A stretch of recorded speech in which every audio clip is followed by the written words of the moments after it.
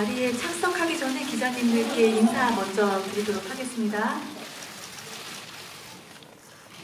차렷, 인사. 자리 착석하겠습니다.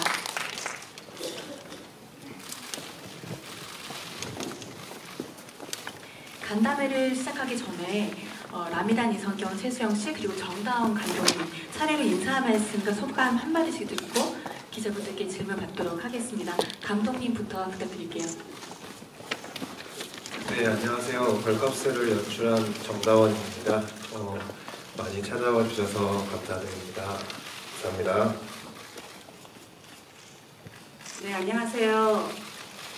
영화 48편, 제 나이 45, 영화 시작한 지 20년 좀 넘었는데, 첫 주연을 맡게 된 남이란입니다. 네. 자신 있게 하려고요, 뭐든. 네, 잘 보셨는지 모르겠는데, 아, 긴 얘기는 좀 이따 하기로 하고요. 저는 박미영 역을 맡은 라미란이었습니다. 안녕하세요. 걸캅스에서 조지의 역을 맡은 이성경입니다. 네, 와주셔서 너무 감사드립니다. 네, 안녕하세요. 걸컵스에서 양장미 역할을 맡은 최수영입니다. 이제 영화 두 편밖에 안 했지만 잘 부탁드립니다.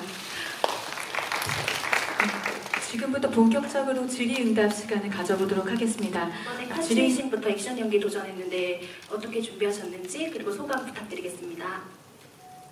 네, 영화에서 이제 액션과 뭐 여러 가지가 나오는데 사실은 액션 비중은 보셨겠 보셨을 것처럼 네, 이란 선배가 훨씬 더 많은 수고를 해주셨었는데 저는 좀 타격감 있는 중요한 결정적인 한 방이 좀 통쾌하게 날리는 그런 액션이어서 그런 좀 발차기에 각을 잡는 연습을 좀 했던 것 같고요.